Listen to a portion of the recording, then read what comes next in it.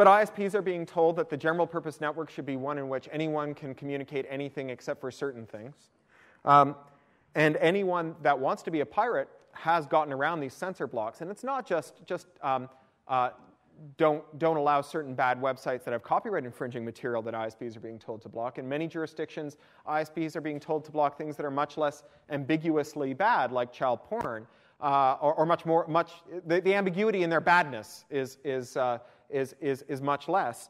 Uh, and yet, it's not particularly effective. Even in, in um, Australia, where they just rolled out one of these child porn filters across the nation, the supplier of the child porn filter themselves said anyone who wants to look at child porn will not be challenged by this in the least. The primary effect of this filter will be to stop you accidentally stumbling on child porn, which is a completely separate problem and not really what Australians were sold on, and really not the thing when I think of the, the horrors of child porn, which, as the father of a three year old, I really do think of as horrific. I don't think of the primary horror of child porn being that people sometimes see it by accident. I mean, that's bad, and I sort of prefer in an ideal world that that not happen, but it's not the primary consequence that we're hoping to regulate against. Um, and it's not just the networks themselves, but the endpoints on the networks that are being regulated. For example, uh, Viacom, I, I, alluded to this earlier at the start of the talk, Viacom has sued Google uh, over its YouTube service and said that Google has an obligation to ensure that the material that shows up on Google doesn't infringe anyone's copyright uh, and particularly doesn't infringe Viacom's copyright, and that the current regulatory framework that says if someone's infringed your copyright on the internet, you tell them, and then they're obliged to remove that infringing material, isn't enough. That Google should assume the, the, the, um, the, the responsibility of knowing what all the copyrighted works are, and if they see one being attempted to be uploaded to YouTube, they should interdict it before it goes live. And Viacom has argued somewhat straight-facedly that this should be automatable, that somewhere out there in, in the bowels of Google there is an artificial intelligence capable of making these fine-grained distinctions that sometimes require you know, fully impaneled Supreme Courts to really fully appreciate. Um, and, that, and Google just hasn't rolled it out because YouTube, which actually, by all accounts, loses something like a million dollars a day, uh, is so profitable to them that they would keep such a, an invention under wraps uh, uh and, and um, not allow it to kind of go out there be, uh, and, and, uh, and, and police YouTube on Viacom's behalf. But you know, more importantly, this is this general principle that anyone who hosts material from the general public should have the obligation to ensure it doesn't violate some law before it goes live would essentially prevent all the things that we do with hosting, right? It would, it would make Twitter disappear because, of course, Twitter couldn't possibly ensure that you know, the billions of tweets that they get don't infringe on anyone's rights, don't, don't infringe on a copyright or commit a, a libel or, or, or any of those other things, violate a state secret. Um, certainly, no message board could survive under that regime. Uh, no hosting service like YouTube could, but also no hosting service like the university, which allows students to upload their papers, could survive if the only way you could get a paper into the hosting service was to submit it to the university's council first so that they could review it and ensure it didn't infringe on anyone's rights. And if there was any doubt, ask you to remove anything that might infringe. Um, so, tellingly, people worried about radio and copyright have come to this same point in their regulatory quest. Uh, they want to design computers from the ground up that have this inbuilt facility uh, to run programs that their users can't control or inspect and that are designed to work even when the user doesn't want them to. So this is basically that the answer that everyone's arrived at is we should have things like digital rights management technology or uh, in other cases um, uh, trusted computing technologies that would monitor that would run programs that would monitor what was happening in the system and if the wrong thing was happening in the system would intervene and stop it and that these programs should be able to run in a way that users can't stop uh, that users can't inspect, so in order to subvert them, and that um, should run even when the owner of the computer doesn't believe that it's in their interest for that software to be running. Uh, so, for example, in the radio example, um, something that truly prevented you from modifying your radio from doing A into doing B if B is naughty would have to work even if you wanted it not to work, right? It would have to, it would have to happen somewhere in, in a redesigned bowel of that computer that uh, was off limits to users but accessible to some higher authority than the owner of the computer. Um, so there's one important problem with, with those proposals is that they won't stop things like software-defined radios uh, from causing havoc Unli- uh, they only stop the licensed software defined radios from doing bad things. And building an unlicensed software defined radio is easy for all those reasons I've enumerated. The components that go into a software defined radio are commodity electronics.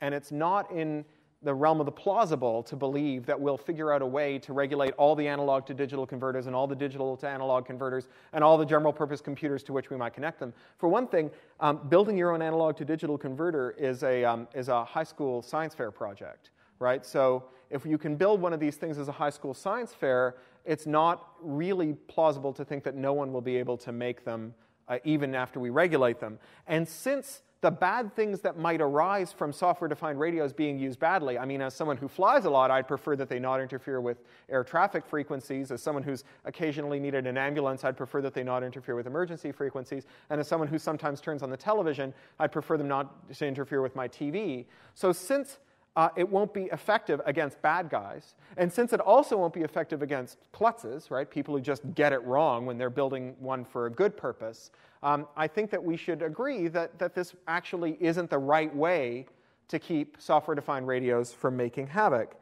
Likewise, uh, entertainment companies now, de- now demand that mobile phone companies, games console companies, and operating system companies design their systems to lock out the user when their movies or music are playing to prevent users from capturing their product uh, back to the hard drive in a form that can be freely copied and, sh- and used.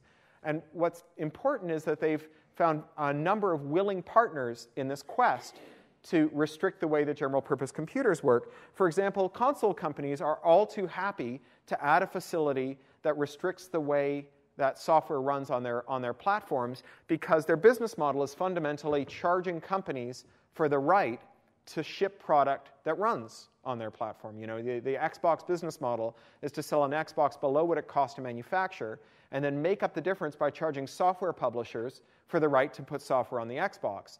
So, as a, an externality of that business model decision, you already have this capability built in to control what kind of programs can run and what they can do when they're on the, when they're on the platform. And that is, is used and taken advantage of by the entertainment companies as well. Um, mobile phone companies are all too happy to build components of their phone that are off limits to user modifiable software that users can't touch. And the reason they want to do that is they're all hooked on the subsidy phone model, where they, they give you a free phone and then build in several multiples of its cost to the life of your contract and, and reckon on you not being able to leave the contract and go to a competitor with your phone unlocked and, and ready to use on a, on a competitor's network. And then, you know, uh, general purpose computer companies and, and uh, um, uh, PC companies like Apple play all sides of the lockdown game. Uh, they want to stop independent software publishers from selling apps for tablets and phones without 30% cut going to Apple. And so they lock those so that only Apple approved software can run on it. Uh, and at the, the same time, they want to lock video and audiobooks and other media to their proprietary software so that if you decide after many years of being an Apple customer that you want to go and be uh, a customer of some uh, alternative ecosystem, that you have to leave your video and audio be, audiobooks behind to go there because it's all locked to that platform or to other platforms that have licensed their anti copying technology.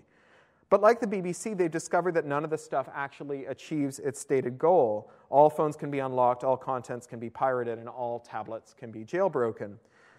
Um, but the reluctance to face up to this, the reluctance to kind of look for another way to regulate or another way to, to conduct your commercial affairs, um, means that increasingly desperate measures are being taken to put this uh, to put this control technology more deeply into our technology. You know, it's sort of like, well, that didn't work. Let's see if, if we do it harder, if it'll work next time. This isn't to say that designing uh, devices to attack their owners isn't without consequences. It's, it's, it's not merely that it doesn't work, it actually has a negative consequence in addition to it. Indeed, once you start calling this what it is, a computer that's designed to betray its owner's interests, it becomes immediately obvious why we shouldn't do it. It doesn't matter if you're a movie pirate, and it doesn't matter if you're a hack, radio hacker, all the negative effects of this can come to bear on you. What matters is that applying prior restraint regulation to general purpose PCs and the networks that they use um, mean that, uh, I beg your pardon, I've just lost my train again. That's that beta testing the talk thing.